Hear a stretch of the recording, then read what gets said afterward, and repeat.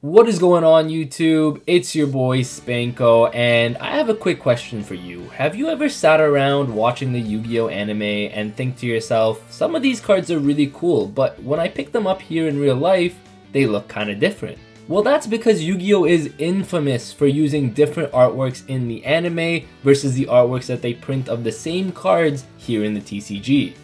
Now sometimes the differences can be very very minute, but sometimes they can make a world of a difference. So in this series we're going to be talking about some card arts that appeared in the Yu-Gi-Oh anime exclusively and have yet to be seen here in the TCG. For today's episode we're going to be focusing on the original Yu-Gi-Oh anime which is the Duel Monsters series. Now the first card we're going to talk about is personally one of my favorites and that is Machine Duplication. Now you might know machine duplication for its uses in Card Trooper way back in the day as well as its continued use in the Cyber Dragon archetype, but funny enough you may not know that the original person to use machine duplication was Yami Marik all the way back in the Yu-Gi-Oh! Duel Monsters anime. Machine Duplication aired in episode 127 where Marik used this card on his Plasma Eel to summon two more copies from his deck. It's very similar to the TCG effect.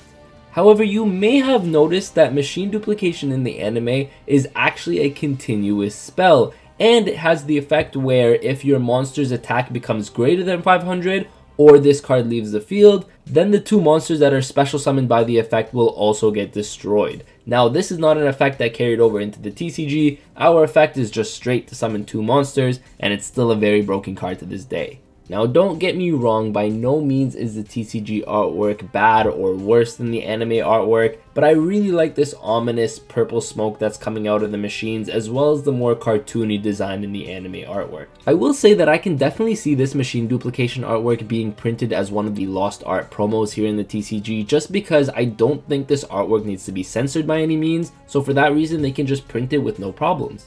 And I think it would look really good in that lost art ultra rare.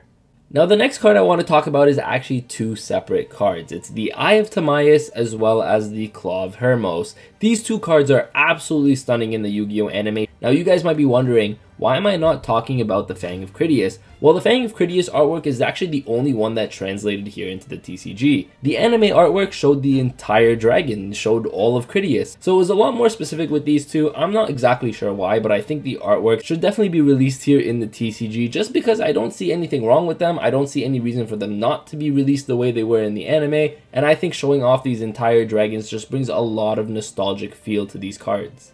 On top of that, Konami could really sell these cards to a lot of its casual anime fans, and honestly, I would purchase them for myself because I think they would be really, really cool. Now, we all remember the Orichalcos arc, right? And one of the main villains in that arc was Raphael. In episode 158, Raphael summons his boss monster, Guardian Eatos. Now, the anime artwork for Guardian Eatos made so much sense with Raphael's character, the ominous vibes, all that villainy stuff, it made a lot of sense, especially with the Eatos looking directly at you, looking very fierce, whereas here in the TCG we got a much more softened version of the card. And that's not to say it's a bad thing, however, I just think the anime artwork shows off the personality of Raphael's character and the arc as a whole. So I really think this card can come to the TCG as a lost art as well. From what I see, I don't think anything really needs to be censored on the card, so they could just print this and honestly, I think it would be a really good seller, especially with the Lost Art promotion. People just have to buy some booster packs and you know, they get a free Guardian Eatos with this super cool artwork. Now some cards I just really want to mention because I did think the anime artworks were really cool. We don't have to go super in depth with them, but it was Drillago. I think Drillago's anime artwork is really cool. Keep in mind Drillago is also a normal monster in the anime, which is something different. And a card that I think should really come here in the TCG because the anime artwork is just insane is Different Dimension Dragon.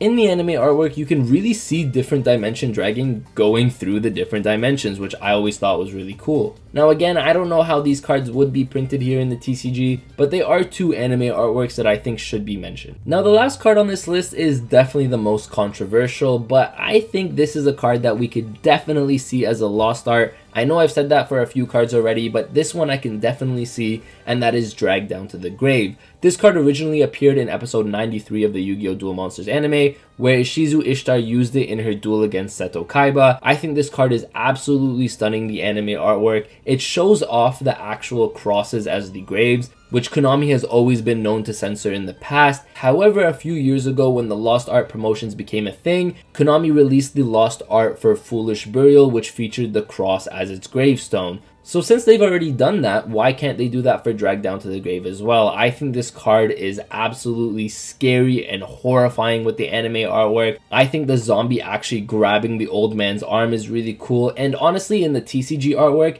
I'm not a big fan of all these green winded stuff. I don't even know what to call them. These green stripes that appear on the card art in the anime, it's just really dark. It really just signifies what the card is supposed to do, which is take your cards and put them in the graveyard. So I think this card should definitely be a lost art in the Yu-Gi-Oh! TCG. So that wraps it up for today's video. I hope you guys did enjoy. Make sure to like and subscribe if you guys did, and let me know in the comment section down below if I missed anything that you guys would like to see here in the TCG. Now keep in mind there's a lot of episodes spanning the Yu-Gi-Oh anime, so I definitely didn't hit them all, and if you guys know of any, I would love to know as well. I really appreciate each and every one of you. Thank you guys all for watching, and with that, Spanko signing out. Peace.